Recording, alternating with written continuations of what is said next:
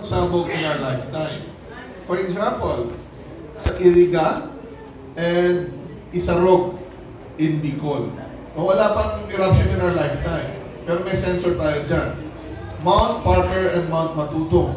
Mount Parker is similar to Mount Pinatubo in eruption style and ferocity. So meron po tayo mas maraming instrumento dyan. And sa Mount Matutong. Mga active volcanoes yan, they had eruptions uh, in the 1900 pero walang nangyari. So yun na yung programa natin. So we are monitoring the active volcanoes that may erupt in the future but we don't know when. So parang may, pag may earthquake, madali natin ma-detect. Even Apo, meron tayo dyan mga instrumento.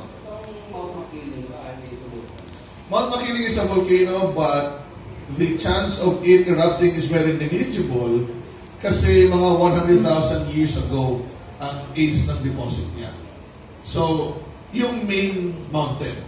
So, ibig sabihin, uh, baka akala kasi ng mga tao na walang hindi nagtatrabaho ang Phoebus pag walang nangyayari. Actually, mas maraming trabaho pag walang nangyayaring activity at nagko-concentrate lang kami kung meron doon sa isang volcano sa isang fault.